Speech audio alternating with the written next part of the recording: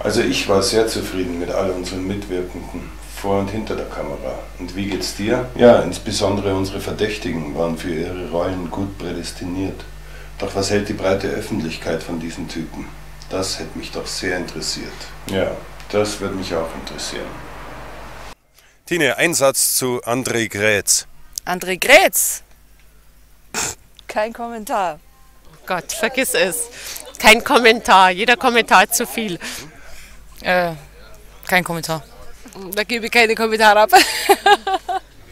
Das ist schwer. Keine Ahnung. Unwahrscheinlich stark. Edith, ein kurzer Satz zu Georg Werner. Schlaftablette. Oh, scheiße. Finde ich scheiße. Sein letzter Film war richtig scheiße. Der macht's richtig. Der macht richtig fett Kohle. Oh Gott. Ja, ob es den nun wirklich gibt, das würde mich tatsächlich interessieren. Und wenn, dann wo er ist? Wo ist denn der? Ein kurzer Kommentar zu Peter Meyer, bitte. Der Künstler. Ja. Oh je.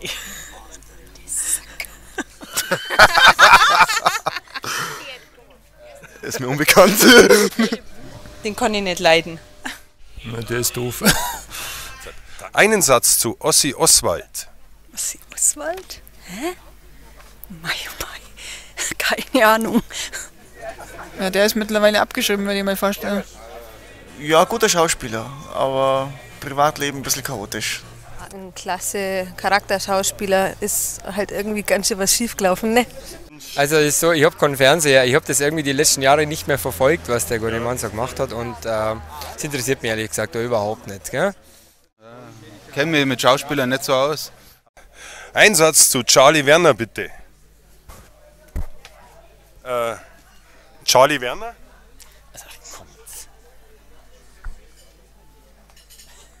Kennen wir nicht. Deine Meinung über Karl Werner?